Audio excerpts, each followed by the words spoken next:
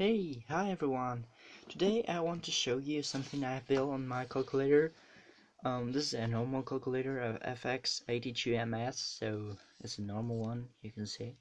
It's the, well, this is the old one. The zeros are with a, a bar inside.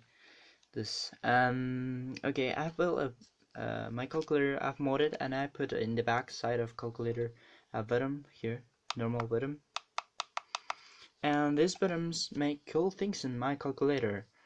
These things, it calculates integrals. So now when I put that when I press that button, now it appears this symbol integrate. So now I can put x square for example a simple integral comma from 1 to 8 and close parenthesis there it there we go and there it is. It takes sometimes it takes a lot of time to calculate it um, because it's not a very powerful calculator but it's cool to make simple calculators. And bye. See you